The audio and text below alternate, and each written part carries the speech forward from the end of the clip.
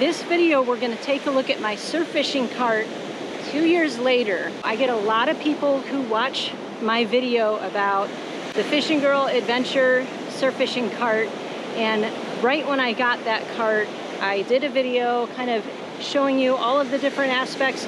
I'm gonna show you today all of the wear and tear that I've had on it, all the upgrades that I've had to make to it, the different maintenance that we've had to do, what's held up good, what's not held up so good, and what we've had to replace. All of those things I'm gonna cover in this video, so keep watching. I just got done running a charter with a family. They had so much fun. We were pulling in constant pompano the whole time. Really steady bite, a lot of fun. They learned a lot. So it might be a little dirty, uh, obviously, I've got to take it home and get everything washed off. If you watch any of my videos, you've seen how I have it like hooked up in the morning. Usually have it pretty well loaded down. I usually have five or six rods with me and my sand flea rig, and we have bait. We have a bucket for the fish. I've got my cooler. I've got my backpack. I've got my tackle bag. I've got like tons of stuff. This cart is amazing to be able to carry all this stuff. Let's take a closer look at the cart and all of the different things that have gone on with it in the last few years.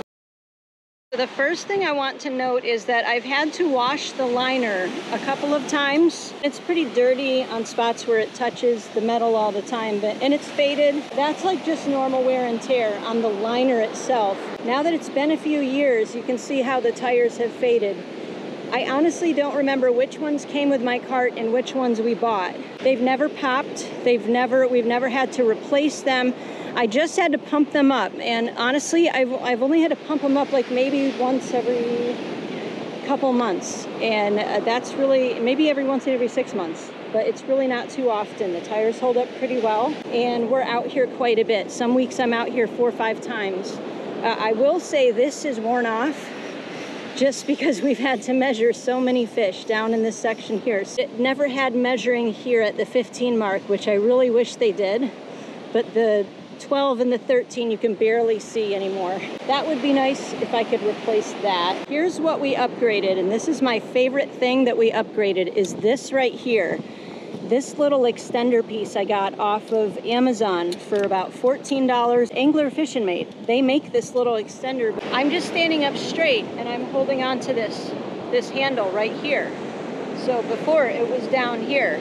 So that makes a huge difference when you're pushing this thing especially over long distances, especially on soft sand like this, when you don't have to lean over really far to push, but you can just push it at your own height right about here.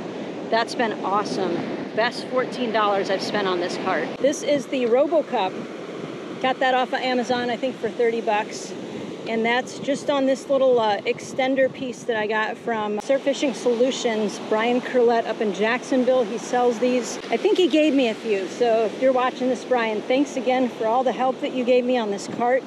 You can see that it's held up pretty well, but I, he was selling these for six. They might be more now. These little plastic pieces you can see are breaking here, almost on all of, well, yeah, on all of them. So that's something that I could replace it's not been too big of an issue, so I haven't really replaced them yet. You can see wear and tear just from all the use. I mean, this thing has been in and out of my car, in and out of the garage. This is probably from putting it on the pavement, like holding it up to, to rinse it off every single time that I use it. This is still the same uh, floor that Brian made for me too, and that's been holding up awesome. I don't even know what kind of material that is, but it's been great.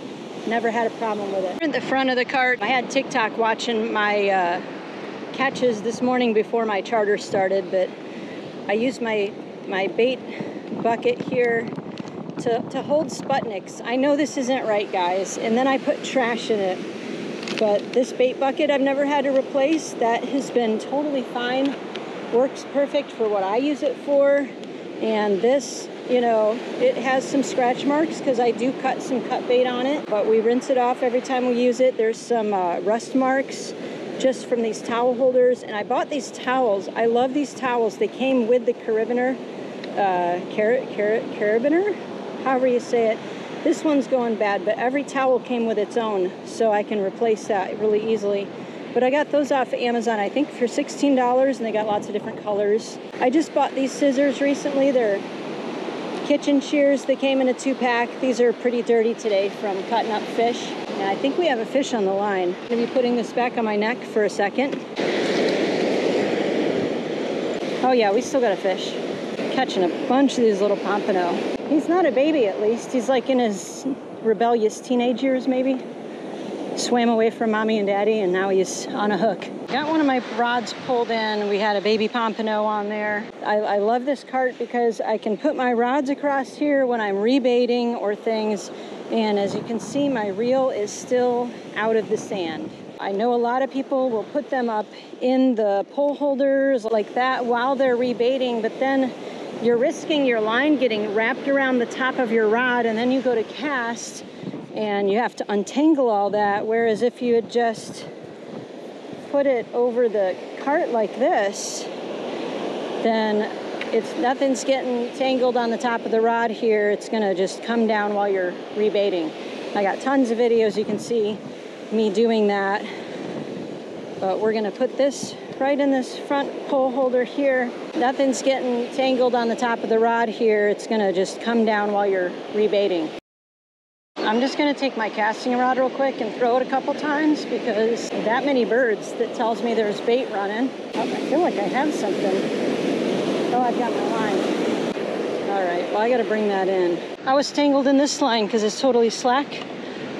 So we may have a fish on here. Oh, this ran down the beach. You see it? this ran down the beach. He ran all the way to shore. He beached himself. What the heck? Oh, that's a jack. Man, that's a good fish. He's heavy.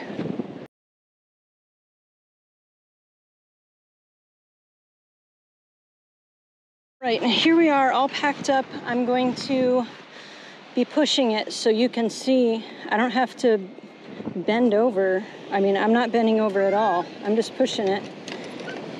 And you can see two years later, we've had some problem with some squeaks, but that's not too bad. There's ways that you can fix squeaks if you have a squeaky cart. Um, leave it in the comments if you fixed a squeaky cart and what you fixed it with. All right, coming up the hill here. This makes it a lot easier having this extender. I've got all the rods out. I put everything down in here. I have a very specific way that all of this has to go in the car for it to fit. This is the trick here. Oh, so all those sinkers are in the front of the cart now. That's heavy. My cooler pushes it up to the back of the seat. Yeah, nobody helps me pack because they know I have to put it in here a certain way. All right, and now I'm gonna put the rods in here. It's a little bit of a chore to get all of that equipment into a SUV. Um, I've got a RAV4, so this is what it looks like when you get it all in there. So I've got the cart, I've got rods on top, I've got my sand spikes next to it, I got rods on top of those, I've got my cooler, my tackle bag. All of this is holding the uh, cart in place so it doesn't jostle around while I'm driving. That's how I get it all in there. Just to wrap this video up, I just wanted to let you know this cart has been awesome. It has held up really well. If you have one of these fishing carts, let me know what you think about your cart, some of the pros and cons that you found. I think for two years, I've definitely gotten uh, the money's worth out of it for sure. I did have a sponsor who donated the money for this cart, got me going at a time where I really needed the extra funds. We always have things like that with Fishing Girl. If there's people who want to sponsor what we're doing, a lot of future things that we want to do, we're going to need a lot of help. So reach out to me, email me at fishinggirlfl at gmail.com. You can contact us through our website if you want, fishing-girl.com. But thanks so much for watching. Tight lines, God bless.